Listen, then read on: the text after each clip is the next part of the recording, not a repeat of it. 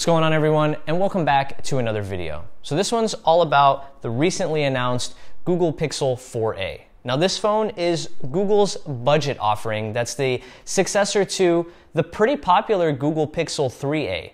And the crazy part about this phone is you can buy it for $349. Now I personally love reviewing budget phones because phones like this make a smartphone manufacturer really focus on what they do well and everything else about the phone is built around those core values in the simplest and most cost effective way possible.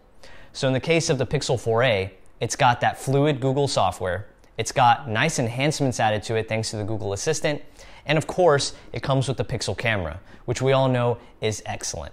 Now, before we get into those details, I want to spend some time talking about the simple and cost effective measures that Google took when building the Pixel 4a.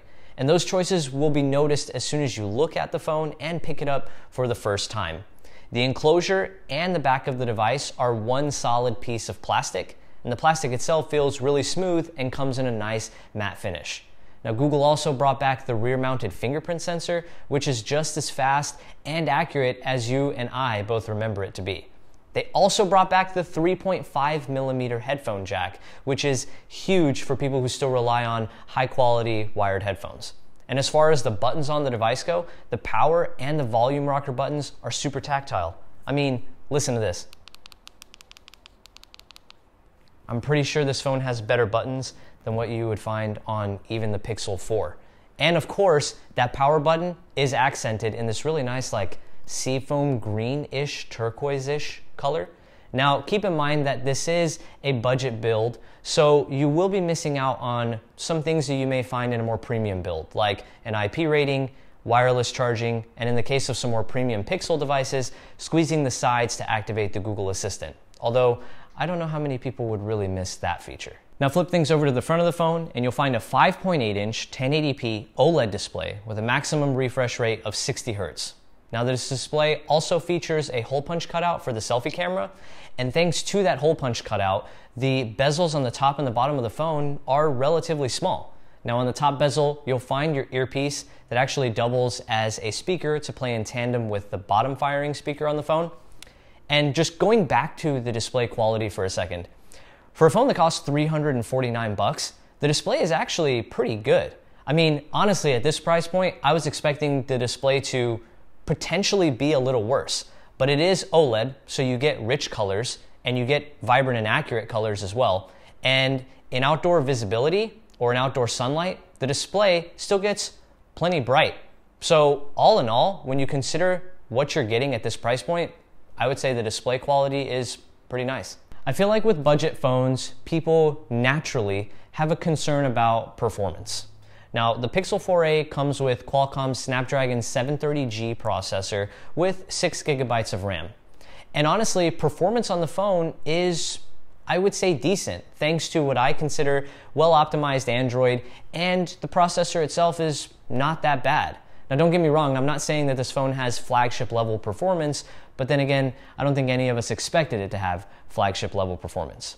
And for doing things like the basics, browsing the web, watching YouTube videos, making and receiving phone calls, sending text messages, and even in my case, playing some mobile games, I had absolutely no issue with the performance on this phone.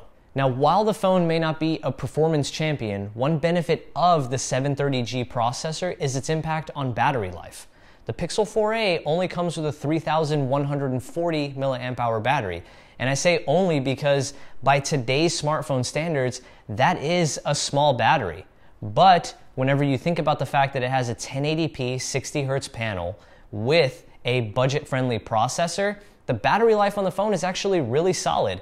I've been consistently getting over five hours of screen on time almost every single day. And that includes doing things like watching streams on Twitch, watching YouTube videos, playing two or three different mobile games throughout the day, reading news articles, browsing the web. I mean, general day to day usage with this phone is really solid in terms of battery life. There are days where I'm taking the phone off charge at maybe 7:30 in the morning whenever I wake up, maybe 8 o'clock, and the phone is comfortably lasting through the late hours of the night, 10 or 11 o'clock at night, while still having about 30% battery left. Considering the size and the battery capacity of this phone, that's pretty impressive. Now, every time I pick up my Pixel 4 XL, or in this case, while I was going through the review process for the Pixel 4a, when I use the phone, the software reminds me of why I enjoy this line of smartphones so much. In my opinion, there's nothing like Google's version of Android. Now, I happen to love Oxygen OS, which you find on OnePlus phones as well, but Google's take on Android, in my opinion, is one of the cleanest and uncluttered experiences that you can find.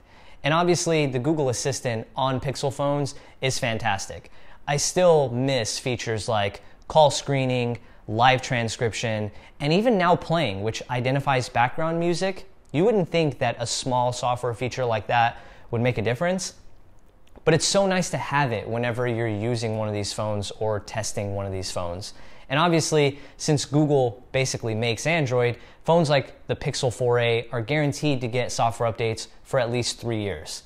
Now, how the phone lasts over the course of three years is still to be seen, but you gotta love Google software. I mean, it's, it's one of the best, if not the best versions of Android that you could possibly use. Now, if you're interested in a phone like the Pixel 4a, chances are you're interested in the camera more so than almost any other aspect of the phone. And if you notice, whenever you look at the camera housing, Google reused the same design language from the Pixel 4, but the 4a does not feature two lenses. It features one lens, and the other spot on the camera housing is reserved for the flash unit. Now that one lens is 12.2 megapixels with f1.7 aperture, and Google has never been about throwing like a 108 megapixel lens into the camera or trying to create these like three or four lens camera setups. They take one lens and instead they focus on image processing and computational photography to produce awesome photos. I was really happy with the results of photos taken on the Pixel 4a and honestly, whenever you think about a phone that's $349 that can produce still photos like this, it can literally go head to head with flagship phones that I'm not kidding can cost $800 to $1,000 more than this smartphone. Now, it is a Pixel, so obviously it's not going to be best in class whenever it comes to video, but if you're looking for still mobile phone photography on a budget, the Pixel 4a is, is your go to for sure.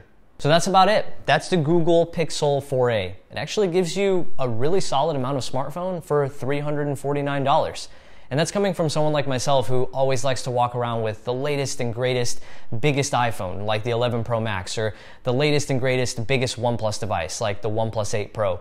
I honestly didn't know how I would feel during my testing and review period of this phone, but when I took a step back from phones like the OnePlus and the 11 Pro Max, it actually felt really refreshing to use a phone like this that is compact, fits in the hand really well, still has pretty solid build quality, and just gets the basics done while still having excellent software and excellent camera performance. If you are honestly considering buying the Pixel 4a, it's definitely worth every penny in my opinion. Now, if you are considering buying the 4a, like I said, has a starting price of $349, and actually, it's not even a starting price. That's just the price because Google makes buying the phone super simple. It's available in one color, just black, one storage option, 128 gigabytes, and one size, 5.8 inches. And I believe orders will start shipping on the 20th. So pre orders are live now. But like I said, excellent phone. And I actually want to ask you guys would you be interested in seeing a comparison between the Pixel 4a and the 2020 iPhone SE? Because we're leaning towards making one and uh, we think it would be a pretty great video. So if you haven't already, make sure you subscribe and let us know what you think in the comments down below. And as always, please stay safe and thank you so much for watching. Catch you guys in the next one. Peace. That's the Google Pixel 4a. It actually gives you a lot of smartphone for 349 bucks. And that's coming from someone like myself who likes to, did you move the camera? You did move the camera, didn't you?